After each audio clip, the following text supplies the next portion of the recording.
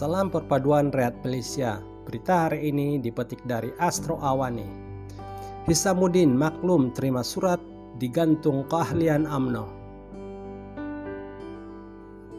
Saalam ahli parlimen Simborong Datuk Sri Samuddin Husin mendedahkan menerima surat rasmi berhubung pergantungan keahlian AMNO selama enam tahun Surat bertarik 30 Januari 2022 itu ditandatangani oleh Setiausaha Agung AMNO Datuk Sri Ahmad Maslan. Bagaimanapun, menurutnya tiada sebarang sebab penggantungan dinyatakan. Baru saja terima surat resmi bertarik semalam. Isnin berhubung penggantungan keahlian AMNO saya Tiada sebab penggantungan dinyatakan katanya menerusi satu hantaran di Facebook pada Selasa. Beliau turut memuat naik gambar surat yang dinyatakan.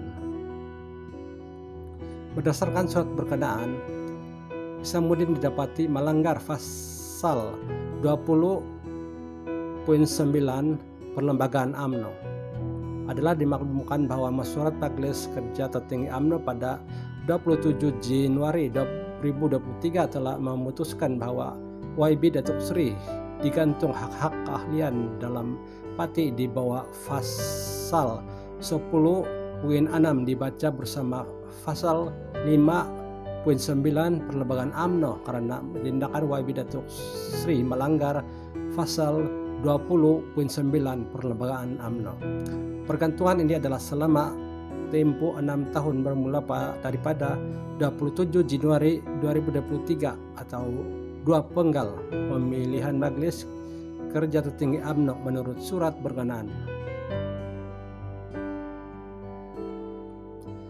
Pada Jumat, MKT memutuskan memecat bekas ahli parlimen Rembau Khairi Jamaluddin dan bekas pengurusi perhubungan AMNO Selangor Tan Sri No Umar daripada AMNO karena perlanggaran disiplin sewaktu pilihan raya umum ke-15 Pro 15. AMNO turut menggantung keahlian beberapa pemimpin lain selama enam tahun seperti Hisamuddin, bekas Ketua Penerangan, Sahril Sufian Hamdan, Ketua AMNO bagian Tebarau, Datuk Maulizan Bujang dan bekas ahli parlemen Jimpul Datuk Sri Muhammad Salim Muhammad Sarip.